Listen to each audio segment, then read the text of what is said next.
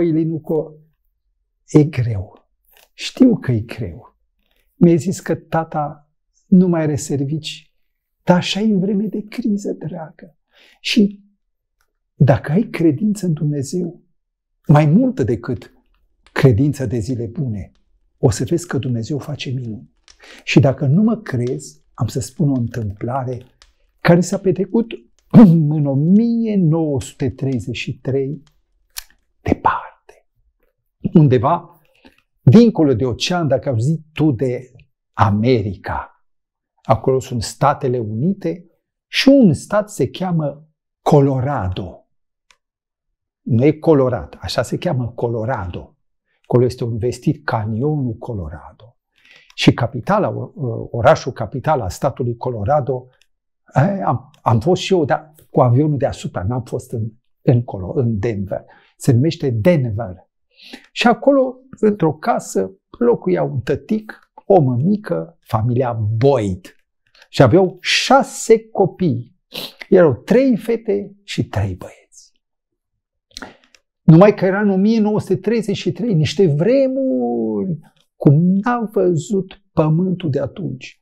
Au făcut oamenii niște inginerii financiare, nu știi ce aia nici eu, dar așa îi zice, șmecherii pe românește. Încât toată economia, adică producția, industria, comerțul, brr, s-a prăbușit. Și și-au pierdut oamenii serviciu. Nenea Boyd, tata, lucra la unul Rollinson, atelier mecanic. Se pricepea tata. Numai că odată cu nebunia asta, că oamenii nu mai aveau salarii, a cam scârțit meseria. Adică nu mai veneau oameni.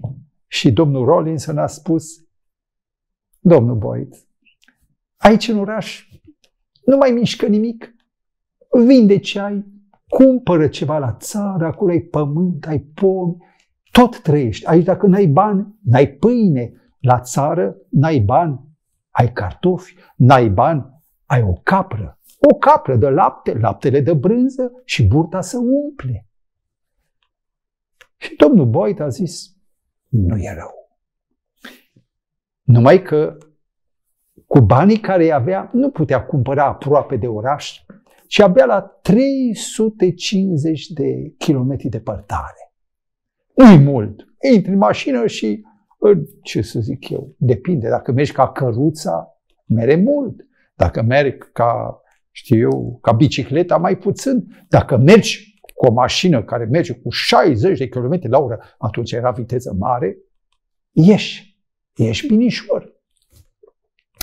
Și a luat tot ce a putut în casă, a încărcat într-un camion, a plătit camionul cu bani peșini, bani cash, altfel nu mergea nimic, banii erau puțini. A reușit să cumpere o căsuță acoperită cu șindriliță, ca la țară, dar avea o grădină frumoasă, avea loc de cartofi, loc de zarzavaturi, avea pom fructiferi. Oh, ce bucurie pe ea șase, bucurie mare! Numai că trebuia și servici, trebuia pământul lucrat. S-au pus la treabă, băieții ajutau, fetele la fel. Numai că, și aici e necazul cel mare, nu era mai de toate. De nimic. Nu era nimic. Și tata a spus,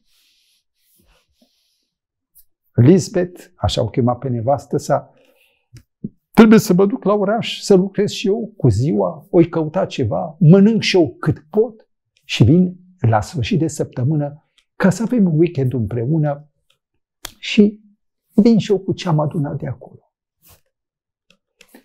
Toamna a fost frumoasă.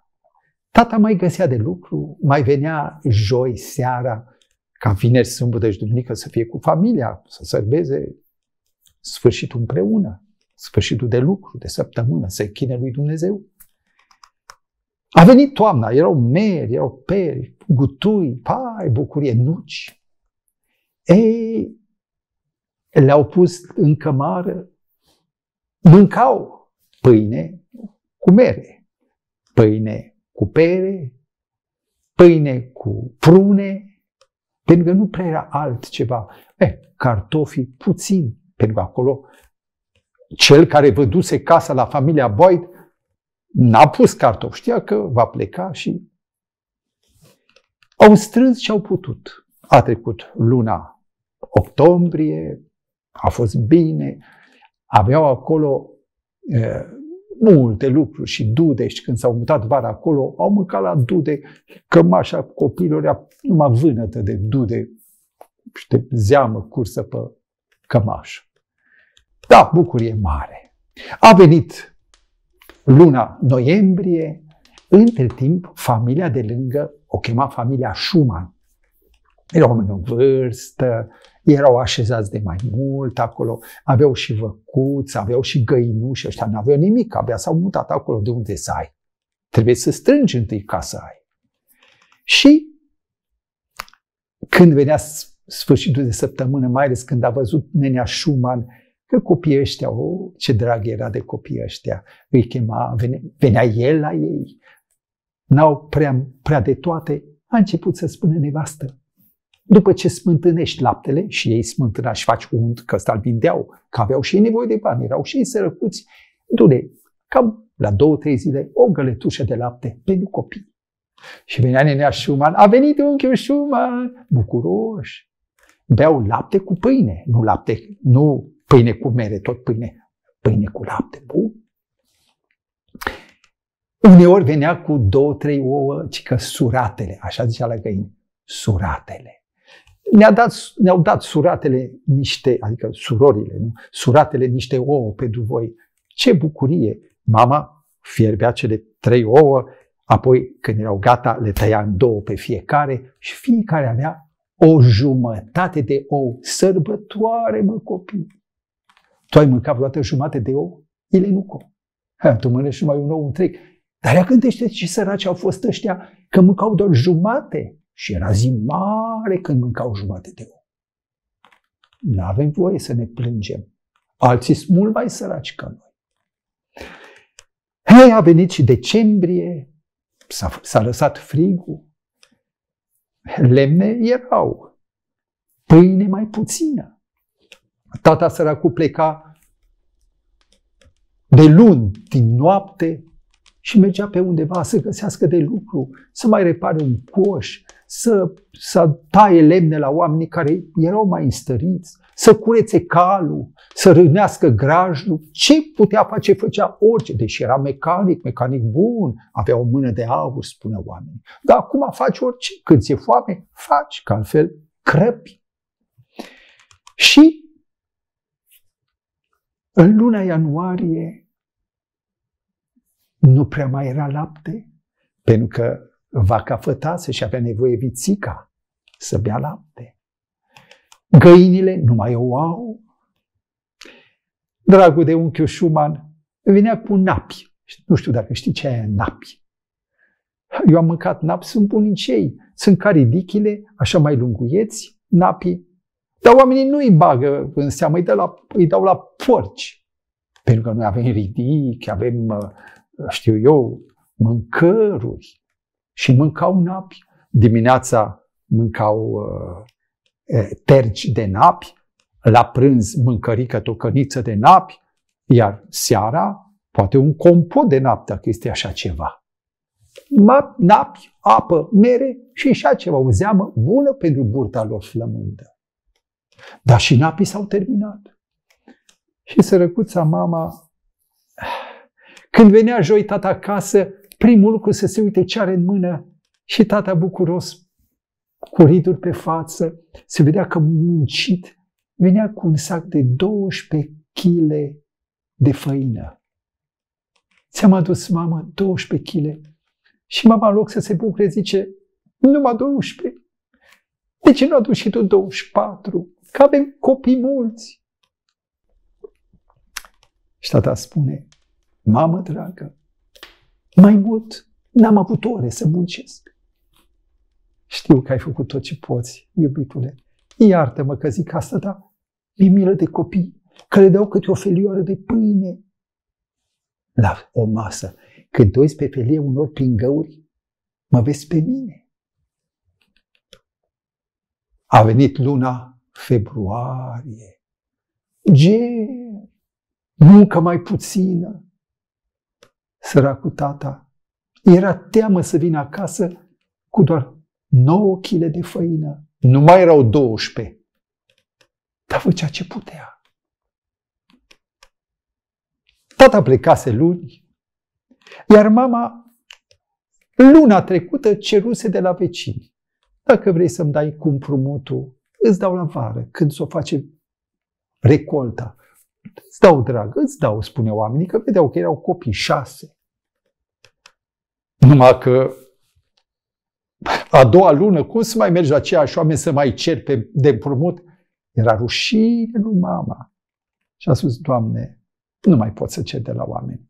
Venea Șuman, nu mai are ce să dea. Tata când o veni, eu n-am pâine pentru copii. Copiii dormeau, era seara.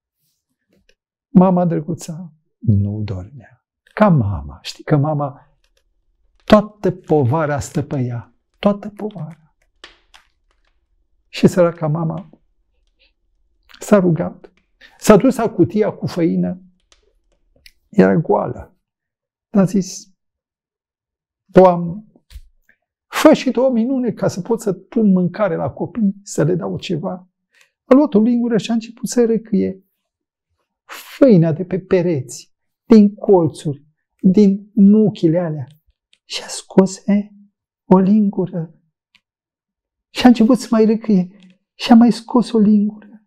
Și a mai scos încă trei linguri cât să facă aluatul. Să bagă drojdia, să bage acolo apă caldă și să crească. Poate că poate mai scoate ceva făină din cutie.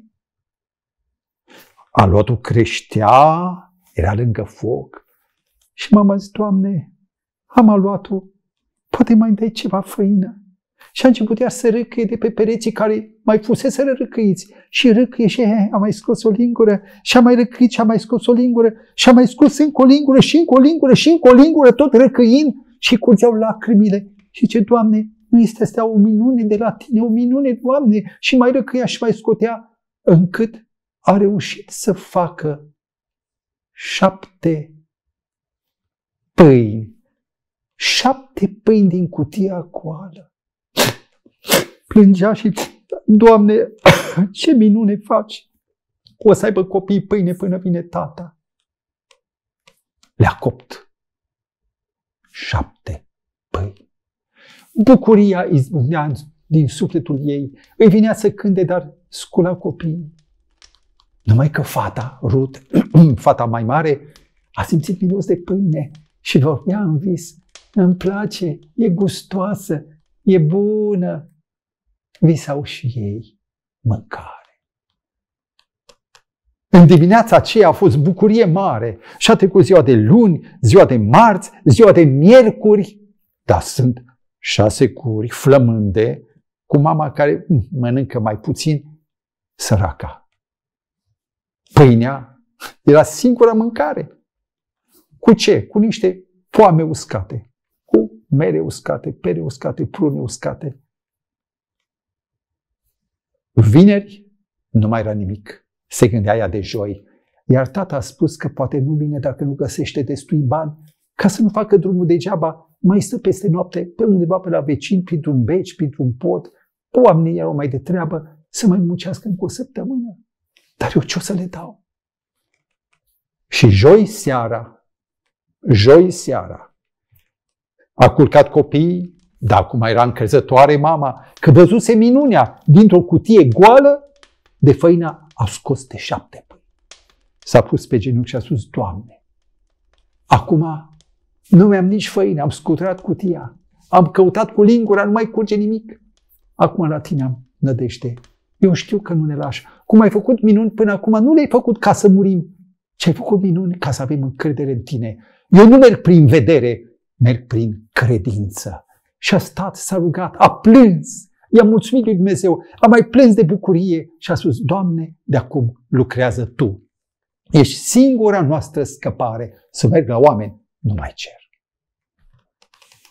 La 350 de kilometri departare, undeva în Denver, acel oraș mare, capitala statului Colorado. Nenea Rawlinson, șeful, fostul șef de atelier mecanic, noaptea era unu, se scoală. ce asta? A visat copiii lui uh, nenea Boyd că stăteau și ziceau, nene, vino pe la noi, nu vrei să ne aduci câte ceva? Eh, vise, vise. Și s-a pus la loc și s-a, s-a culcat. Și în timp ce dormeam, ei, ei, ce e asta? Ei, cu tare! Țânțar, țânțar în februarie, asta n-am mai văzut. Dă cu mâna, aprinde lumina, ce nu-i nimic. Mi se pare, s-a culcat din nou, la ureche, se scoală din nou. ce e asta? Nevastă zice, dorm bărbat odată, dorm, dar nu mă lasă. Și în timp ce alerga după un țânțar pe care nu-l vedea, tot copiii apăreau în imagine. Unchiule, vină pe la noi. Pe la ora trei noaptea, dă la o parte pătura de pe el și a spus, eu plec. Unde pleci, bre? Noaptea. Plec la copiii lui Void. Dar cum o să pleci că e zăpadă afară? Cu ce mergi? Păi, cu ce mergi? Cu, cu ce-ai găsit? Cum cu ce-ai găsit? Păi, motocicleta din, din șopru. Motocicleta n-a folosit-o de 2 ani. O avea benzină? Nu știu, zice el. Și el spune așa, Doamne, dacă vrei să mă duc, fă să pornească motocicleta. S-a îmbrăcat, bre, stai cu minte, omule, că-i fric. Nu am stare. Dumnezeu mă trimite să merg, spunea el nevestisi. Zici că Dumnezeu e? Da. Oh, atunci du-te și nici eu nu mai dorm. Cât te-o duce tu, erau 350 de kilometri. Era frig, ger, zăpadă, gheață. Cu motocicleta e nebunie. Dar dacă dă Dumnezeu porunca, poți să spui tu, nu vreau. Nu se poate. S-a îmbrăcat el și a pus fularul în jurul gâtului, o căciulă de aia cu rechi, căciulă rusească, cu mănuși de alea cu un deget, sau s-a motocicletă. Motocicleta era plin cu păianjeni. N-a mai folosit de a, luni și luni de zile de cum o să pornească motocicleta. Și ce Doamne, dacă vrei să mergi, să pornească. A dat la o parte păianjenul, a pus pedala și de o Nu merge. Și încerc de trei ori. Ăsta e semnul. Nu merge. Dar Dumnezeu îi spune, dar bagă, pompează benzină, că nu are cum să plece. Hai să o fac. Țic, țic, țic, apăsat butonul, râțăță, brr, brr, merge. Când se uită la ac, uite-mă că de atâta vreme benzina a rămas în rezervor. O ajunge. Păi dacă Dumnezeu vrea să plec, o mulți și benzina și scoate motocicleta, scârțează pada sub ghetele bocancii lui, s-a suit sus, ei, luneca greu. Și pe gheață a pornit de la Denver 350 de kilometri. Băteau în cer. Erau țurțuri pe față, răsuflarea, uda barba lui și era dezastru. Șapte ore până aproape de locuința lor. Mai era încă o oră de mers. Zice, bă, mă duc la copii, dar de ce mă duc? Hai să le duc ceva. Și s-a oprit la prăvălia la 2 lei. Nu că erau lei, erau 2 lei de bani. Și intră înăuntru, era ziua de acum, că au plecat la 3 jumate, 7 ore, vezi și tu cât fac. A? Cât fac? Ia știi, Ilenuco, ia socotire. 3 jumate cu 7 fac, nu 11, 10 jumate, așa. E, și s-a dus înăuntru și a cumpărat niște bombonele, niște mărunțișuri și dă primite ceva. Băi, Jane, ce-i șeful? Ia pune și un sac de făină. Se uite Jean și zice, da, cu ce cari? Păi până la motocicletă cu spinarea. Nu, nu, dar cu ce cari? Că ai motocicletă, n-ai nici ataș, nici remorcă. Păi zice, pun și eu pe ghidon. Auzi, un dita mai săcoi pe ghidon să conduce acum. Și am mers spre cu motocicleta bâr, bâr, bâr, bâr, luneca. Și a ajuns la ora 11 la familia Boyd.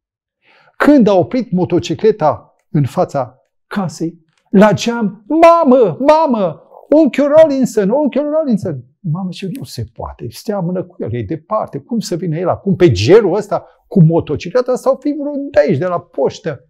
Și iese mama afară, hei, uh, Lizzie, hai, vreau să-i... Tu ești, eu, hai, vină repede. Dar ce e acolo? Eh, am și eu ceva pentru copii. Și hop, apucă sacul și să se țină, să nu cadă pe gheață, îl trântește jos, lângă perete înăuntru. Ce ai adus? Făină maică! 25 de kg de făină. Copiii jubilează, iar femeia plânge. Știam că nu ne lași. Știam că tu ai făgăduit că noi suntem copiii tăi și care tată lasă vreodată copiii să sufere de foame? Îi lasă ca să învețe să rapte, dar nu să moară. Și atât că tu, Doamne, ai făcut minuni.